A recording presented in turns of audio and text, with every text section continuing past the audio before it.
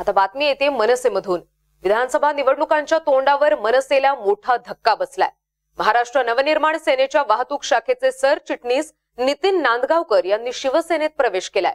मनसेचे संभाव्य उमेदवार मानल्या जाणाऱ्या नांदगावकरांच्या सेना प्रवेशानं मनसेच्या गोटात खळबळ माजलीये.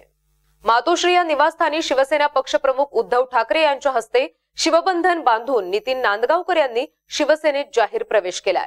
यावेळी वरुण सरदेसाईही उपस्थित होते.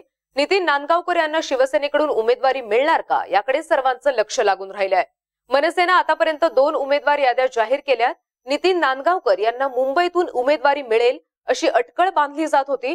मात्र दुसऱ्या यादीत ही वेटिंगवर राहिल्यानं नांदगावकरांनी सेनेचा रस्ता धरल्याचं बोललं जात आहे जय महाराष्ट्र.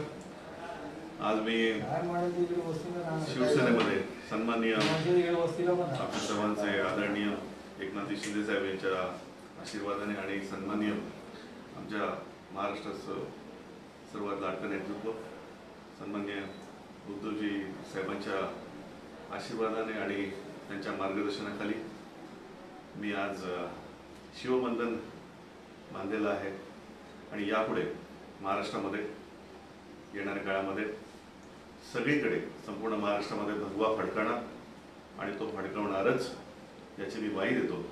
आणि आज मी शिवबंधन बांधून तमाम महाराष्ट्रातल्या सर्वसामान्य जी जनता आहे यानंतर शिवसेनेचं नेतृत्वामध्ये मी काम करणार.